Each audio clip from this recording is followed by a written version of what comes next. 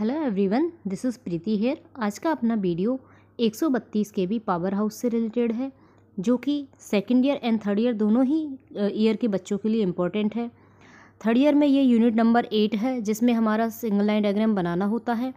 And second year के बच्चे training करने जाते हैं तो उनके लिए भी इम्पोर्टेंट है। आप लोगों को फ़ाइल बनानी पड़ती है और उसमें देखना पड़ता है कि किस तरीके से सिंगल लाइन डायग्राम बना होता है कहाँ कहाँ सारे इक्विपमेंट लगे हुए थे, किस कनेक्शन में सीरीज़ में पैरेलल में। तो सबसे पहले हमारा आता है कंट्रोल रूम यहाँ से हमारा पूरा कंट्रोल होता है यार्ड का स्विच यार्ड का। रिमोटली हम यहाँ से पूरे स्विच यार्ड को कंट्रोल कर सकते हैं कंट्रोल रूम से। यहाँ पे सारे पैनल लगे हुए हैं जिनको हम सेलेक्टर स्विच से कंट्रोल कर सकते हैं।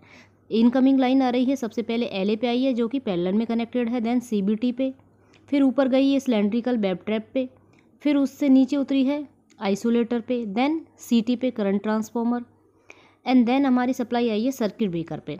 सर्किट ब्रेकर के बाद में हमारी सप्लाई जाती है मेन बस पे। मेन बस पे जाने के बाद हमारा इक्वली हमारा जो वोल्टेज है वो डिस्ट्रीब्यूट हो जाता है।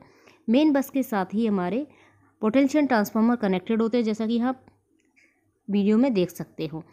पोटेंशियल ट्रांसफार्मर हमेशा पैलर में कनेक्टेड होते हैं। तो ये हमारे एक पोजीशन बताते हैं और इन सब के जो वीडियो है कि क्या क्या इक्विपमेंट कहाँ लगा होता है हम पहले ही अपलोड कर चुके हैं, जिनके लिंक डिस्क्रिप्शन बॉक्स में अपलोडेड है। अब इनका डिटेल वीडियो हम बाद में देखेंगे। Thank you for watching